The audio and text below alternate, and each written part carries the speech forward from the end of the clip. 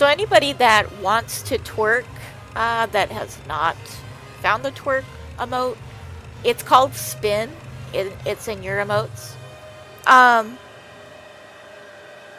if you pull up your emote menu and then hit square, like if you're using a PlayStation controller, you'll see other emotes.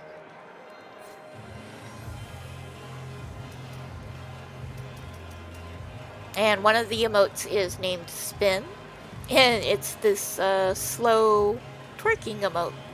So, if you didn't know how to twerk, now you do. True.